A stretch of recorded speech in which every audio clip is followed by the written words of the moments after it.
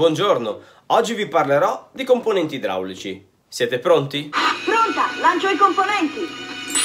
Il generatore di calore. Questa sarà l'ultima puntata del format Lanciami i componenti e quale elemento mancava per poter effettivamente concludere questo nostro viaggio all'interno del sistema impiantistico legato a quello che è l'impianto di riscaldamento mancava il generatore di calore che in realtà doveva essere il primo elemento dell'impianto ma che noi ci siamo tenuti come ultimo e per poter entrare nel dettaglio di questo elemento utilizzerò alcuni video che avevo realizzato qualche anno fa. Partiremo dalle pompe di calore per arrivare a quello che è l'utilizzo di un sistema ibrido che quindi è l'unione tra una pompa di calore e una caldaia a condensazione. Buona visione e a voi commenti!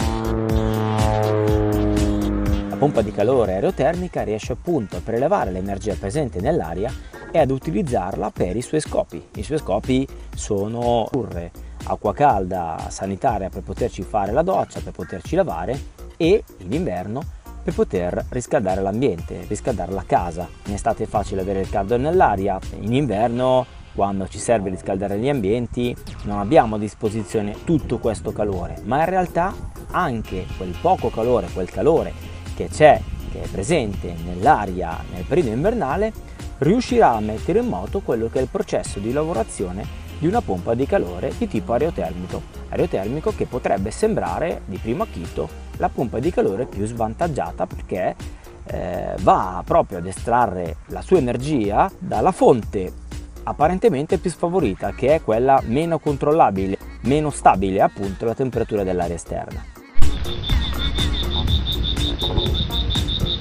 Quando ci ritroviamo a dover ristrutturare casa o semplicemente a dover pensare di cambiare il nostro generatore, come ad esempio la caldaia, certe domande nascono spontanee. Starò scegliendo il prodotto giusto? Mi farà risparmiare? Oppure in quanto tempo riuscirò a rientrare della spesa sostenuta?